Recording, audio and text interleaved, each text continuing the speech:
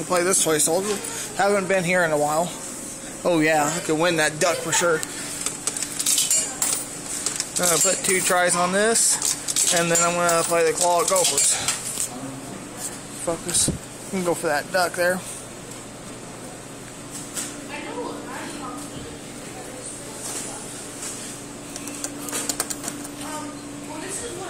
Yeah, should be alright. And then come up for this large frog. Now, the button doesn't work, so I gotta let the clock run out. Oh, yes. Nice. For two in a row here. I'm just let that run out. Get it by the head.